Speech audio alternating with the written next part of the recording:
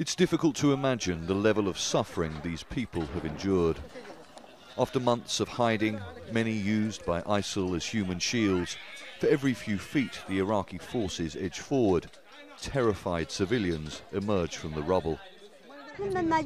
By God, ISIL didn't let us out. There were snipers shooting at us. Then an aircraft struck and the army gave us a sign. We went to bring out the dead and the army gave us a sign to flee. Many of them have witnessed friends and family killed.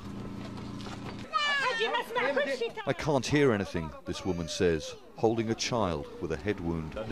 Iraqi government forces say the few remaining ISIL fighters are trapped in an area on the west bank of the Tigris River that is getting smaller all the time.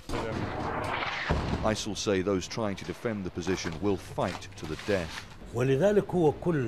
Their fighting strategy has become suicidal. All of the current ISIL fighters in front of us are wearing explosive belts. Even the snipers, rocket launchers, and machine gunners are all wearing suicide belts.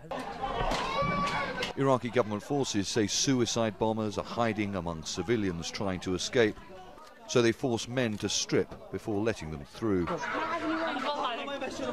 The level of destruction in the old city is almost total. Virtually every single building is either completely or partially reduced to rubble. The fighting to destroy the last remnants of ISIL in Mosul continues, and the terrified, the hungry, the young and the old continue to appear.